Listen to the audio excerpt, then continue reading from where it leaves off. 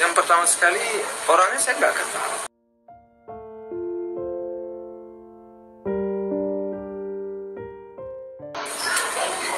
Eh, Dan kalau bertanya ke saya,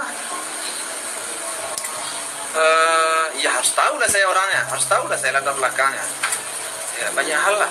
Dan saya memang terus terang saja kalau kalian menanya ke saya pribadi saya, saya inginnya eh, satu frekuensi.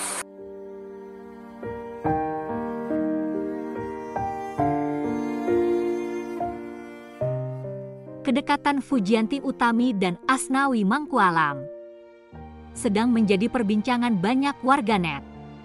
Apalagi karena beberapa waktu lalu, Fuji kedapatan menonton pertandingan Indonesia versus Turkmenistan, di mana Asnawi turut bermain di sana. Publik pun ramai berspekulasi menerka status hubungan pesepak bola yang berkarir di Korea Selatan tersebut dengan Fuji. Hal itulah yang akhirnya diungkap Fuji dengan belak-belakan kepada sang ayah, Haji Faisal. Hal ini seperti dilihat di akun TikTok Marki Zikri 09, di mana Haji Faisal awalnya menyinggung keinginannya untuk mendapatkan menantu yang seprofesi dengan Fuji. Seperti yang saya bilang di awal tadi, saya mencari yang iya, seprofesi, harapan saya begitu.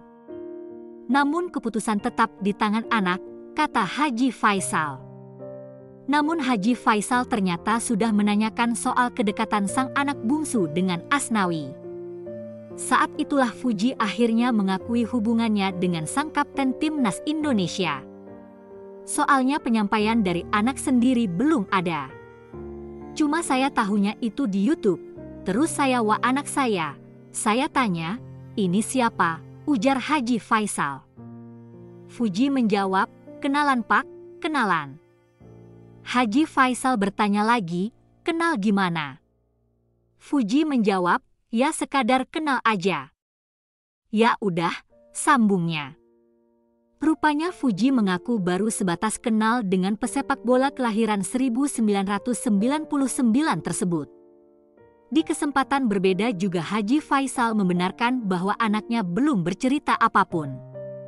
Sebenarnya berita ini kedekatan Fuji dan Asnawi belum sampai ke saya, artinya anak saya belum ngomong sama saya. Jadi menurut saya ini masih jauh, ungkap kakek galas Kai Andriansyah tersebut.